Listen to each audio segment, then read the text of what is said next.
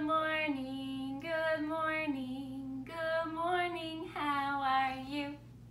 Good morning, good morning, it's nice to see you too. Good morning, boys and girls. It's another day of school. You know what though?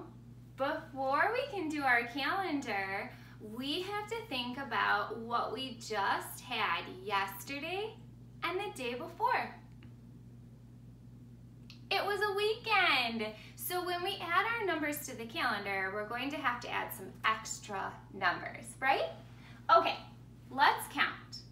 One, two, three, four. Four was Saturday, and as I like to say at school, you were at home sleeping, weren't you? And you always say, no, we weren't sleeping. All right, let's make a big four. Then what comes after four? Four plus one is five. You're right. That was Sunday and you were at home sleeping. Okay, what comes after five? Five plus one is six. You're right. We can do that with our hands. Five and one extra is six. You're right. Okay, let's trace it up. Today is Monday, April 6, 2020. Oh, I realize I haven't changed this in a while.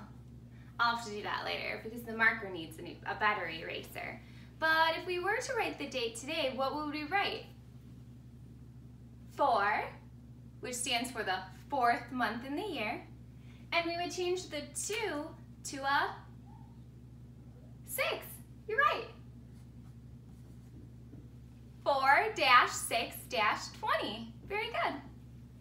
Let's do the weather. What's the weather like today? Like today, like today. What's the weather like today? Tell us, Mrs. Tischer. Just like all the fun friends at home working from home, we have extra coworkers, don't we? Little Amron came in. Amron, you want to come say hi? No, he's being too shy. All right, peek out your window and see what the weather looks like.